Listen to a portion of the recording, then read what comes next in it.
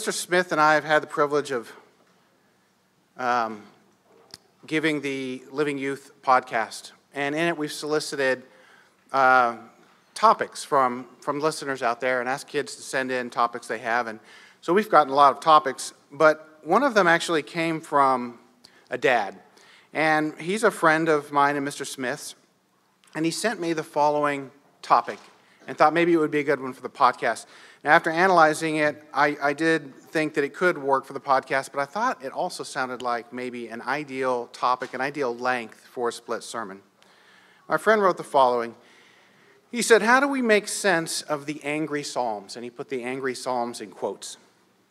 I've been reading them with my kids, and I'm not sure my answers have been the best about some of these verses that make them perk up. And there are some real doozies out there.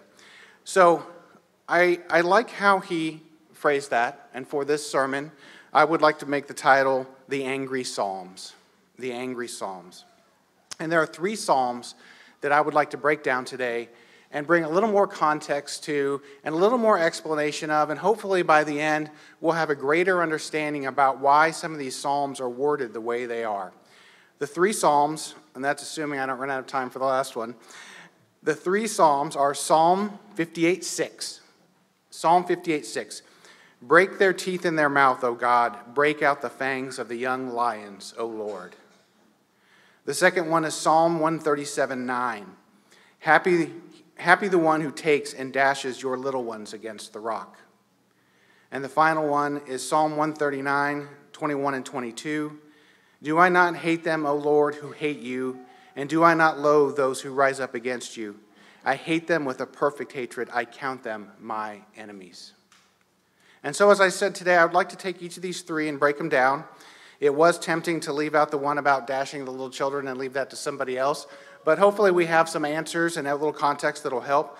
But I would like to start off with Psalm 58 6, and I only have three points, and they're, they're, they're by these Psalms. So the first point is Angry Psalm 58. Angry Psalm 58. And let's turn over to the Psalms.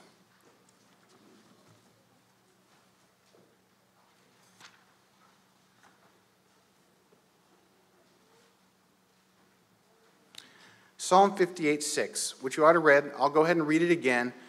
And then we'll expand the context right there in the psalm with, and bring in a little of the rest of the psalm.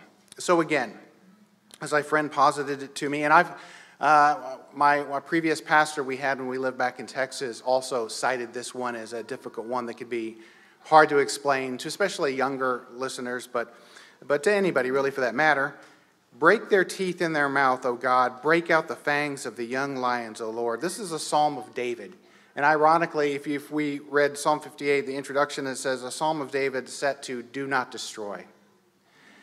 So it seems like an ironic statement. But as I said, the first thing I like to do when I'm tackling any kind of difficult scripture is immediately expand the context around it.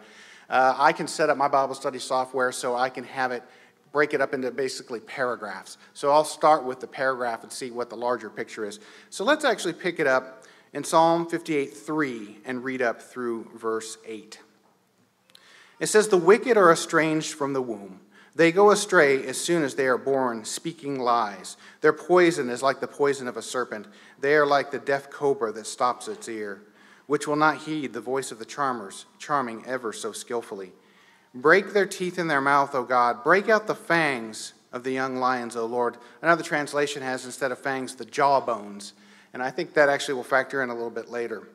Let them flow away as waters which run continually. When he bends his bow, let his arrows be as if cut in pieces. Let them be like a snail which melts away as it goes, like a stillborn child of a woman, that they may not see the sun. You know, also, I, I, when, when I read this the first time, one of the first clues I picked up that it may not be as simple as David just wishing his enemies to violently have their teeth punched out was this one here in verse 7. And this is a controversial amongst the translators because there's another translation that translates it quite differently.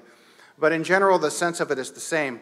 Another translation here, when it says, When he bends his bow, let his arrows be cut in pieces, says, Make their weapons useless in their hands.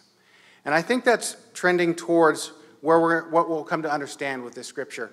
You know, I think one of the things you need to consider, one needs to consider when they start trying to understand a psalm, especially some, there's, there's definitely some difficult ones in there. There's seven in, in particular that are called the Psalms of Imprecation or the imprecatory Psalms. Imprecation means a spoken curse. And this is one that falls in that category. But I think it's important to remember that in two of these three Psalms that we're going to read, that the author is David. He's not just somebody. He's a man we know very well because so much of his history is recorded in Psalms and Kings. So we know a lot about him. And I can tell, having studied David, that though he was a violent man and he was capable of taking care of business, he was not petty or vindictive or vicious. So, my initial sense when tackling this topic was that doesn't sound like something David is after. The, the enemies of him, his enemies having their teeth broken out, the way we think of very literally.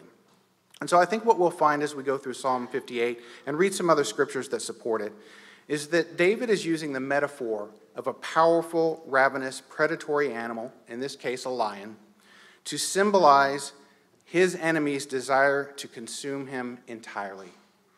The trait of the lion, or we'll see about wolves later, or the tooth and the claw. That's what they tear and rip and devour with. I did just a, lot, a little bit of research on lions, and you know, their, their jaws and their teeth are where the focus of their, their power is. It's where they can bite down so that they can chomp and tear and rip their prey. Without that, they wouldn't be able to take any prey down. They wouldn't be able to feed themselves. It's a, it's a critical part of them. So the Bible frequently uses very common literary devices that we think of when we take a, a standard English class and read some great literary work. And the Bible's no in difference. It's no different. Let's turn over to Ezekiel 30 and look at a great example of the Bible using numerous literary devices. We will come back to the Psalms in a little while, but let's go to Ezekiel 30 and pick it up in verse 21. I think one question you have to ask yourself, because some people go much too far and they turn uh, Revelation into a profound allegory and, and, and, it has no literalism to it. That's, of course, a mistake. But with a difficult psalm like this, one of the things I, I, I try to keep in mind is is there some kind of motif going on here? Is there some kind of symbolism going on here? Is this representing something else? In Ezekiel 30, we'll pick it up in verse 21 and we'll read through verse 25, and we'll see a great example of this here. In fact, the subhead is in the New King James Version Egypt and her allies will fall at the hands of Nebuchadnezzar. Uh, verse 21 Son of man, I have broken the arm of Pharaoh, king of Egypt. And see, it has not been bandaged for healing, nor a splint put on it to bind it, to make it strong enough to hold a sword. Therefore, thus says the Lord God Surely I am against the Pharaoh, king of Egypt, and I will break his arm, both the strong one and the one that was broken and I will make the sword fall out of his hand. I will scatter the Egyptians among the nations and disperse them throughout the countries. I will strengthen the arms of the king of Babylon and put my sword in his hand. But I will break Pharaoh's arm, and he will groan before and he will groan before him with the groanings of a mortally wounded man. Thus I will strengthen the arm of the king of Babylon. But the arms of Pharaoh shall fall down. They shall know that I am the Lord when I put my sword into the hand of the king of Babylon, and he stretches it out against the land of Egypt. So, what we have here in this, what was it, four or five verses, this passage includes metaphors, imagery, personification. Since we talked about it in our podcast lately, uh, recently, we mentioned the synecdoche. There's a, a hint of that in there as well. And a juxtaposition as he puts what he's going to do with Pharaoh and his demise versus how he's going to deal with Nebuchadnezzar, or sorry, with Babylon. So I think when you read through here, I don't I think I would imagine that in general we don't read that and assume that that's really literal. Now maybe because I'm amazed at how often God fulfills things on every level, maybe maybe Pharaoh fell down the stairs and actually cracked his arm. But really what we have in play here is God is going to prevent or break Pharaoh's strength. He's going to prevent him from being able to make war, as symbolized by the sword. And by contrast, he's going to give Babylon the strength and the military fighting ability that he needs to conquer Egypt. In fact, the Expositor's Bible commentary says God declared that he had shattered Pharaoh Hophra's arm. The flexed arm was a common Egyptian symbol for the Pharaoh's strength. Often, statues or images of the pharaohs have this flex, the arm flexed, wielding a sword in battle. A king with great biceps was especially a popular concept under the Saites, which I guess was the dynasty at the time. In addition, Hophra took a second formal title that meant possessed of a muscular arm or strong arm. Therefore, Hophra's defeat was most suitably represented by breaking his arm. So I think you get the idea here with that example. Let's go over just a few chapters to another one Ezekiel 22 and verse 25. And what we're going to see here is some corrupt leaders in several different categories ruling over Israel, but they have become corrupted, and God depicts them as roaring lions and wolves seeking to devour their prey. Ezekiel 22, and we'll read verses 25 through 27. Ezekiel 22, picking it up in verse 25. The conspiracy of her prophets in her midst is like a roaring lion tearing the prey. They have devoured people. They have taken treasure and precious things. They have made many widows in her midst. Her priests have violated my law and profaned my holy things. They have not distinguished between the holy and the unholy, nor have they made known their differences between the unclean and the clean. And they have hidden their eyes from my Sabbaths, so that I am profaned among them. Her princess, that's symbolic of the, of the commercial leaders, and the, uh, not, but not the religious leaders. Her princes in her midst are like wolves tearing the prey to shed blood, to destroy people, and to get dishonest gain. So, not only is that using more symbolism here, but we're showing more clearly how the Bible uses this idea. There is a whole motif that's not limited to the Psalms, running, uh, I didn't look to see that it was the entire Bible, but running through there of large predatory animals being used in this devouring capacity and a simile with people and what they're doing. So let's go back to Psalms and let's pick up a number of Psalms. Most of these, I believe, were written by David. And let's start in Psalm 10.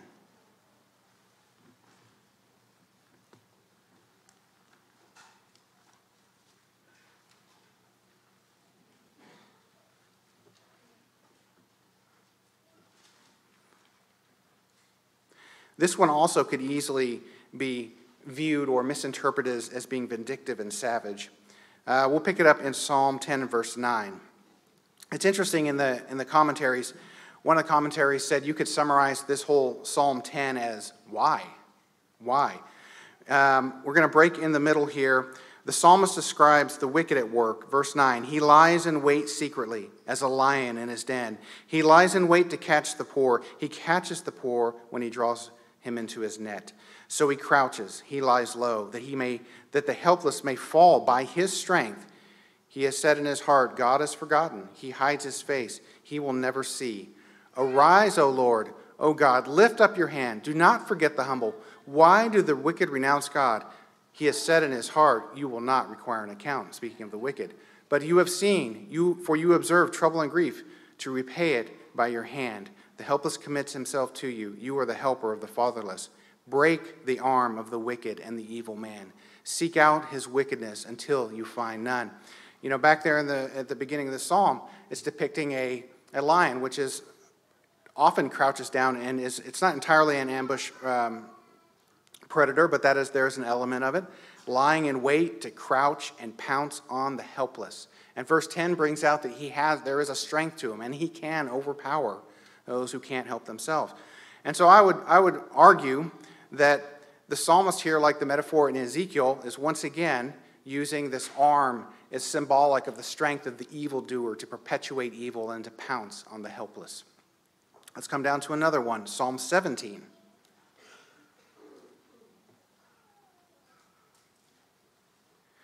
This one is a prayer of David. And we'll pick it up in verse 8. We'll read Psalm 17, verse 8 through 12. And the part that we're skipping over, uh, David opens by pleading his innocence. He describes a scene of being encircled by his enemies. In Psalm 17, verse 8, he says, Keep me as the apple of your eye. Hide me under the shadow of your wings from the wicked who oppress me, from my deadly enemies who surround me. They have closed up their fat hearts. With their mouths they speak proudly. They have now surrounded us in our steps. They have set their eyes crouching down to the earth as a lion is eager to tear his prey, and like a young lion lurking in secret places, which is exact, exactly is very similar to the language, the, um, the language used in Psalm 58. So the wicked here, again, depicted as a predatory animal eager to tear its prey. Uh, let's come down to Psalm 35.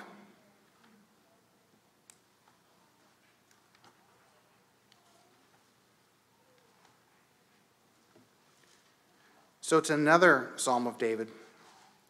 And again, depicting his adversaries as a roaring lion, seeking his demise.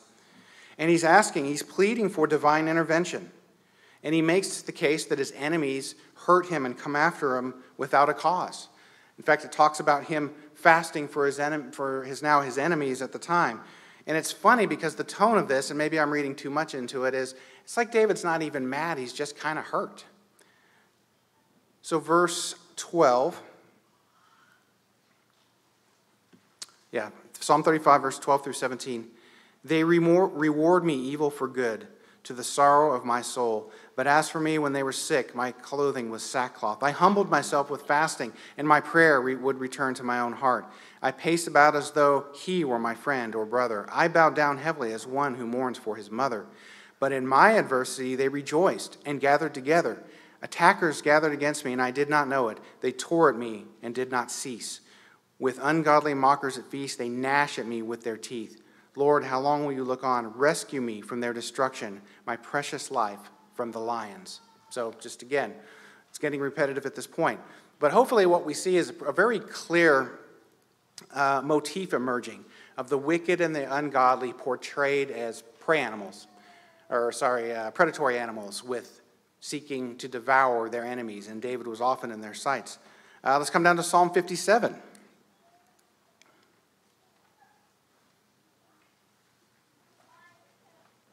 We'll actually read uh, the, the introduction here in Psalm 57, and then we'll skip down to Psalm 57 4. It's once again to the chief musician set to Do Not Destroy, a Michtam of David when he fled from Saul into the cave. Psalm 57 4 My soul is among lions.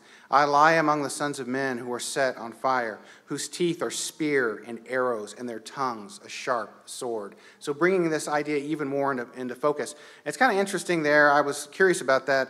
Uh, men who are set on fire. There's a couple of different ways you could translate that. Another translation has, I lie down among those who want to devour me. Another one, the NASB says, those who breathe forth fire. So, my soul is among lions. I lie among those who breathe forth fire. It's just continued imagery of enemies set on consuming and destroying. Also, that's interesting because this is Psalm 57. This is just one chapter away from our introductory one. We're here once again. David is talking about his the, the teeth of his enemies and, that, and likens them to spears and arrows and sharp sword. Okay, Psalm 124.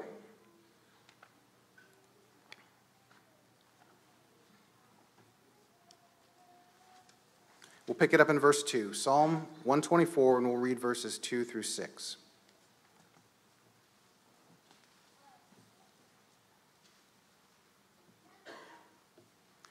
If it had not been the Lord who was on our side when men rose up against us, then they would have swallowed us alive. When their wrath was kindled against us, then the waters would have overwhelmed us. The streams have, would have gone over our soul. Then the swollen waters would have gone over our soul. Blessed be the Lord who has not given us as prey into their teeth. As one commentary brings out, I mean, at, at, this point, I think it's pretty straightforward, but in the jaws, we feel the slow agonies of defeat, like the tearing and grinding of the prey. You know, this is what David wanted to put a stop to. His enemies pictured as predatory animals. And as I said at the beginning, the trait of lions, wolves, and bears, the tooth and the claw. And we've seen either further that's extrapolated out as swords and spears and other things. And what's the purpose of them? To hurt, to tear, and to consume. And David is asking for God to put that, to take away that power from his enemies so that they cannot devour him and consume him. Let's actually go back to Psalm 3.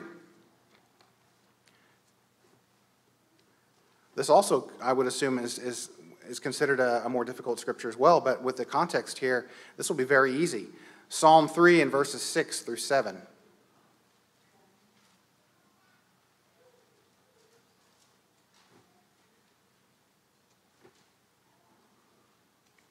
There's a lot of Psalms. Psalm 3 I will not be afraid of ten thousands of people who have set themselves against me all around. Arise, O Lord, save me, O my God, for you have struck all my enemies on the cheekbone, and you have broken the teeth of the ungodly. I, see, I think that adds a nice context to what David, that's essentially what David is asking for, for, for God to rise up and render his adversaries powerless. Let's look at one, well, actually two, there's two. Let's look at one more scripture here as we finalize this point, and that is in Job 29.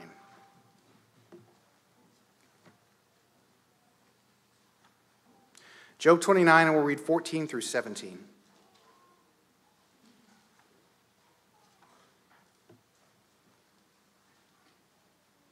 Here, Job, there's actually a couple places where Job does this. We're just going to read one of them, where he depicts the wicked as predatory animals. Verse 14 of Job 29. I put on righteousness, and it clothed me. My justice was like a robe and a turban. I was eyes to the blind, and I was feet to the lame. I was a father to the poor, and I searched out the case that I did not know. I broke the fangs of the wicked, but why? And plucked the victim from his teeth. So, once again, here, Job uh, using, put, tying all these um, symbols together, frankly, and, and making it much clearer to us here as the reader. And we have one final scripture, and that is over in 1 Peter 5 and verse 8. Because who is the ultimate ravenous lion out there who would consume all of us?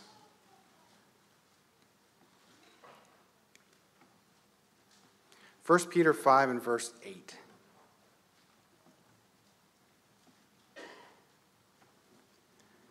Be sober, be vigilant, vigilant, because your adversary, the devil, walks about like a roaring lion, seeking whom he may devour.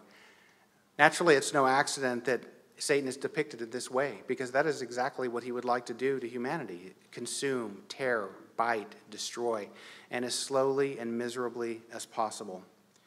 You know, in Psalm 58 6, David asked God to break out the teeth of his enemies. But he's not a petty, vindictive man. He's not looking for them to, yeah, you know, suffer in pain. Um, actually, I don't want to delve too far into maybe what David was thinking on this. But the, the, the, the larger picture here is to be safe from his adversaries. You know, Psalm 58 is using the metaphor of a powerful, ravenous, predatory animal, and in this case, a lion, but in other cases, we saw that it was wolves and other things. David is asking for God to intervene so that he can prevent his enemies from doing harm to him and his family. The second psalm, Angry Psalm 2, Psalm 137 and 9.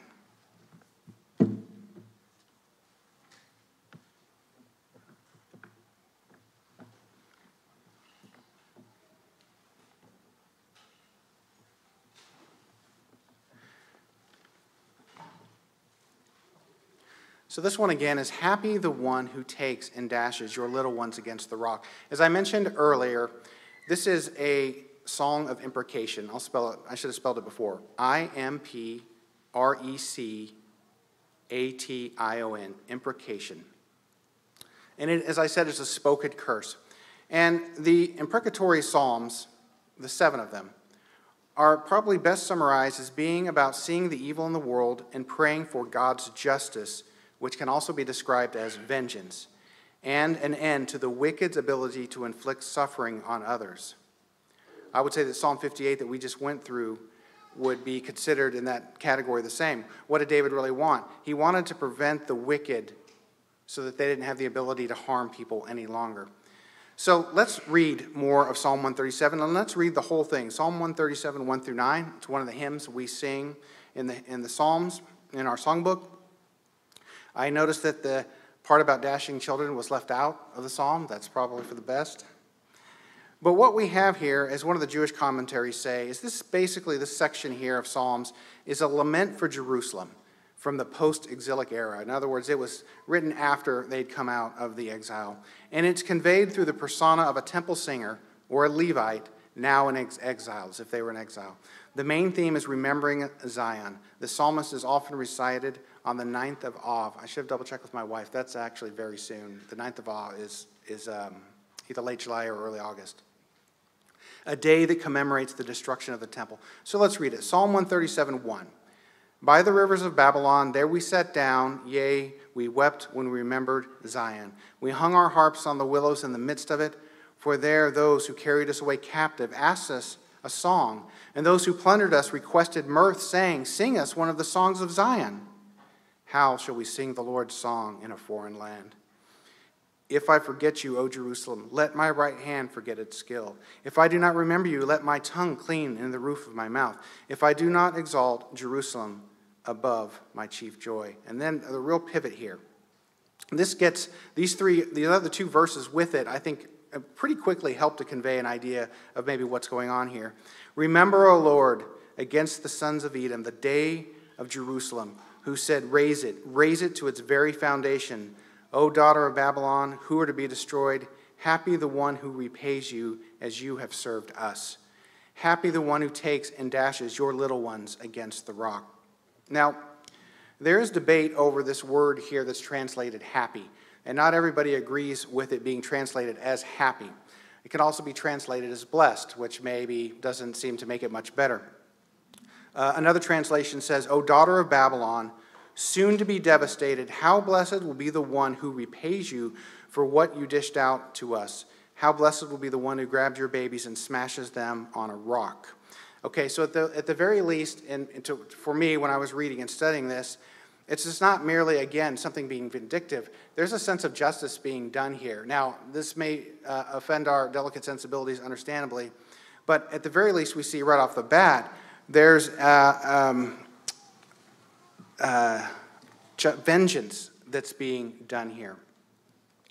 Um, from the expositor's commentary Babylon is personified as the daughter of Babylon. The psalmist prays that Babylon and all that Babylon represents will come to an end.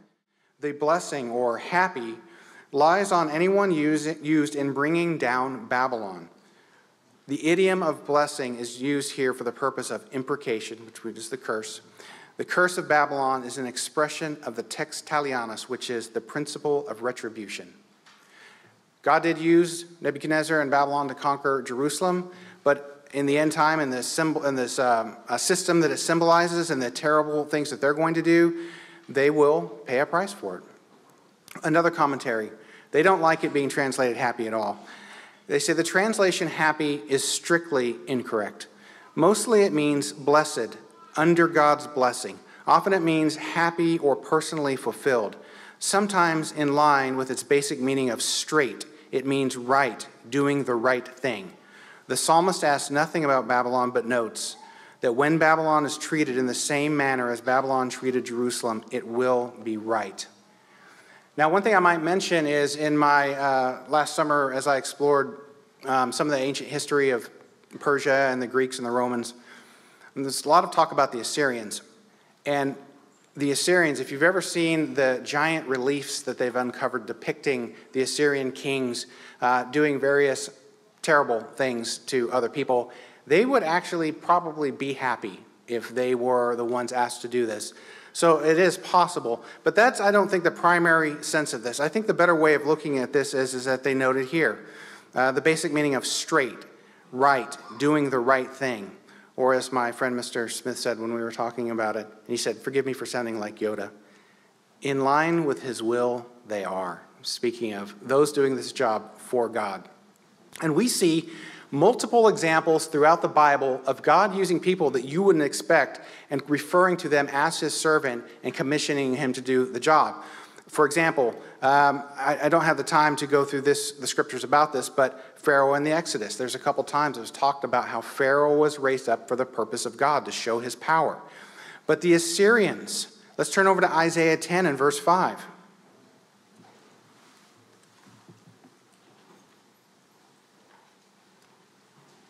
If you've sat in the church very long at all, you've sooner or later probably heard about um, Assyria being the, the rod of God's correction.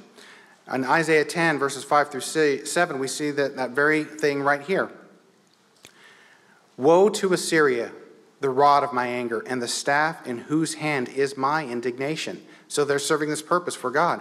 I will send him against an ungodly nation, and against the people of my wrath I will give him charge. To seize the spoil, to take the prey, and to tread them down like the mire in the streets. Yet he does not mean so, nor does his heart think so, but it is in his heart to destroy and cut off not a few nations. So I think that's actually an excellent example of God. It's actually one of the more common ways that he intervenes, aside from like when he would get Israel's attention through famines and droughts. But he would often use one, one country to conquer another uh, nation that had just gotten uh, too far afield of what God was willing to accept. Uh, Nebuchadnezzar, another example. Let's go to Jer- Jeremiah 25 and verse 8.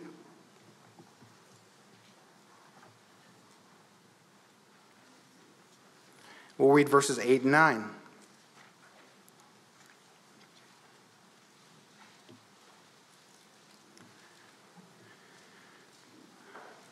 Jeremiah 25 and verse 8.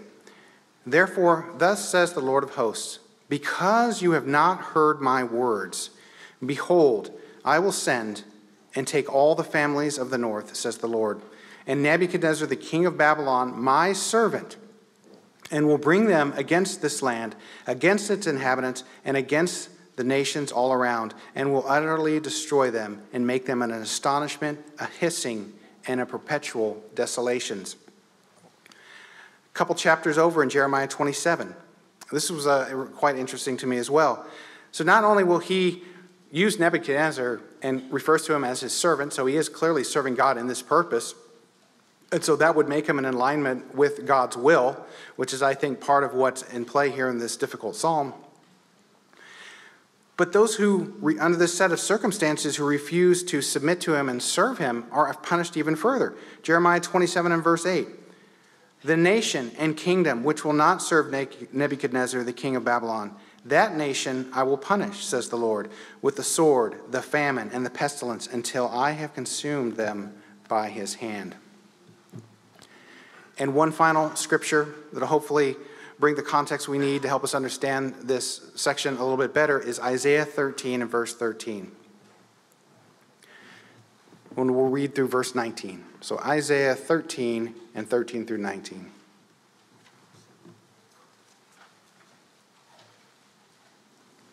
You know, at the time of the end, God is going to clearly have a much more direct intervention, and He will intercede in the affairs of nations in a very dramatic way. And Isaiah 13 13 is a description of that. Therefore, I will shake the heavens, and the earth will move out of her place in the wrath of the Lord of hosts and in the day of his fierce anger. It shall be as the hunted gazelle and as a sheep that no man takes up. Every man will turn to his own people, and everyone will flee to his own land. Everyone who is found will be thrust through, and everyone who is captured will fall by the sword. Their children also will be dashed to pieces before their eyes. Their houses will be plundered, and their wives ravished. Behold, I will stir up the Medes against them, who will not regard silver and as for gold, they will not delight in it. Also, their bows will dash the young men to pieces, and they will have no pity on the fruit of the womb. The eyes will not spare children. And Babylon, the glory of kingdoms, the beauty of Chaldeans' pride, will be as when God overthrew Sodom and Gomorrah. So, even that, though that psalm is fairly graphic with what's done to the small children and everything, I think probably the most important thing to take out of it and understanding that is God putting an end to something. He's putting an end to Babylon and the Babylonian system and all those people who perpetuate that system. Uh, there's um, many examples uh, in, in the first five books of the Bible. Um, I actually did a sermon on it one time. Let, let none who breathe remain alive. When God told the children of Israel to go in and kill everybody in a town. And it was become, they, it, it's, the implication is they had become irredeemable at that point. But God's merciful, they'll be resurrected in time. But for now, what's God saying? He's going to bring down the Babylonian system and he's going to bring a, an end to it, and there will not be those who, who perpetuate its continuation. Okay, last angry psalm number three Psalm 139. Psalm 139. Angry psalm number three. This is a psalm of David. And we'll read uh, verses 21 and 22 to start off with. But then we'll again expand the context.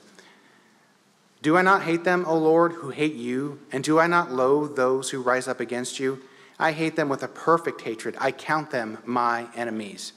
And so, you know, anybody, especially the children, would reasonably ask, so I, you know, uh, I thought we weren't supposed to hate people. Well, there's a little more to it than that. Who are those who hates God? Because that's the psalmist says, "Oh Lord, who hate you? Do I not hate them who hate you?" So God has people that hate him. God has people like say the devil, who is the adversary, who stands in direct opposition to him. Those who are in a state of rebellion, where they're actually fighting against and in direct opposition to God. And this has gone beyond what Mr. Herbert Armstrong said in The Mystery of the Ages, I believe, where he mentioned that most people are just passively hostile to God. But they can get stirred up and take on a much more direct opposition to God. And I look around with what's going on in the Western nations in particular these days, and it feels increasing like a direct opposition to God is at work. Another example would be the whole, you know, I talked about knowing the life of David. A big player in the life of David was um, Saul. And Saul, it's very clear when you read the, one of the, the kind of wrap up chapters of him when near the end of Saul's life, where he goes to the witch of Endor and asks what he should do. And the demon that comes up and speaks to him says, You have made yourself the enemy of God. And how did he do that? By directly opposing David. David was ordained to be the next king after Saul. And Saul raised his hand. And in fact, he spent everything he had in the latter half of his life to prevent that from happening. And in that process, he made God his enemy by opposing David in that case. And it would make sense that it would work in reverse. So let's pick it up in verse 19. So, verses 1 through, there's a real pivot in verse 19. Verses 1 through 18 of Psalm 139 talk about an all seeing, all, all present creator who knows every detail of David's life. And it's actually a very touching, kind of intimate psalm. And in verse 19, we have this pivot Oh, that you would slay the wicked, O God. Depart from me, therefore, you bloodthirsty men. And to me, that makes me think again of these other psalms that we just read earlier. What is it David really wants? To put an end to the evil doer and stop him, stop them from, from their ability to harm other people, but they're also their opposition to God. And so that's what he's asking God to do here. Verse 20 For they speak against you wickedly. Your enemies take your name in vain. Do I not hate them, O Lord, who hate you? And do I not loathe those who rise up against you? I hate them with a perfect hatred. I count them my enemies. Search me, O God, and know my heart. Try me and know my anxieties, and see if there is any wicked way in me, and lead me in the way of everlasting. Expositor's commentary notes this Overwhelmed as he was with gratitude for God's purpose in him, the psalmist sees no purpose in the existence of the wicked. They foil God's purposes by their rebellious ways. The wicked are destructive, scheming, and rebellious to the rule of God in this world. So if God has enemies, and we serve and submit to God, that would, by extension, make them our enemies. And so we should be in line with God with those things he's in opposition to. I think when you expand it that way, that makes sense. One example I think of is being careful that we don't have, well, so, so the better example I think is Lot's wife turning into salt. It was judged, Sodom and Gomorrah was judged as wicked. They fled, but what does she do?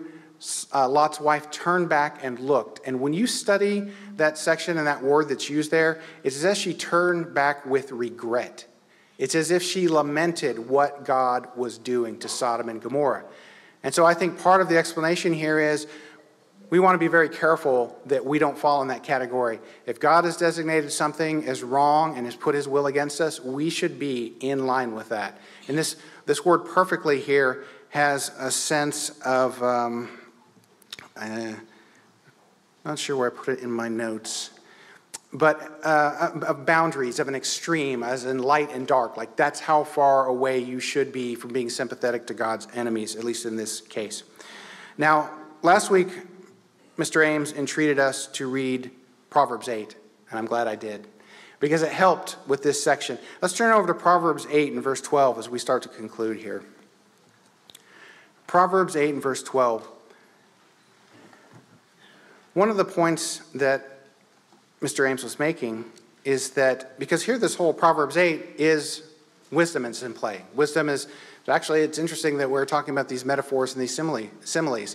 Here, wisdom is depicted as a woman calling out and you should answer her call. And she's been around this whole time. And one of the points Mr. Ames made was that there is wisdom in hating the things that God hates. Psalm 8 and verse 12 and 13. I, wisdom, dwell with prudence and find out knowledge and discretion. The fear of the Lord is to hate evil, pride and arrogance, and the evil way, and the perverse mouth I hate. So, what is hated here? Pride, arrogant, the evil way. I actually would be easy to read over the evil way. The evil way is actually a very broad thing that you could talk about. And it reminds me immediately of Cain. Cain was the way of get. It was an entire way of life. And this is what God is in opposition to. So David here is making the point that he wants to be on the same page as God with what he hates. Let's come down to Proverbs 8 and verse 32, and we'll read through verse 36. Now, therefore, listen to me, my children. For blessed are those who keep my ways. And so this would be naturally, if you think about it, in contrast to the evil way. Hear instruction and be wise, and do not disdain it. Blessed is the man who listens to me, watching daily at my gates, waiting at the posts of my doors. For whoever finds me finds life and attains favor from the Lord. But he who sins against me wrongs his own soul, and all those who hate me love death. Again, who are God's enemies and therefore our enemies? The rebellious, those who rise up, the wicked and those who hate their own soul by contrast. You know, the Psalms often add fascinating uh, subtext to other stories in the Bible. They can often add in detail that makes our overall understanding of the Bible more complete. You know, David had his enemies. I mean, that's, that's you don't read about David's life very long and you know he had enemies and lots of them. But he wasn't a petty and vindictive man. When he asked God to break out the teeth of his enemies, he was not asking for them to be brutally maimed, but rather he was asking God to take away their power to harm and hurt. The Psalms also show us that God's mercy endures forever. And this doesn't mean, but this doesn't mean that he won't bring justice and vengeance and when necessary, repay the evildoer. Let's make sure that we are in line with God's will, that his enemies are our enemies, and when we are, he will break the power of our enemies.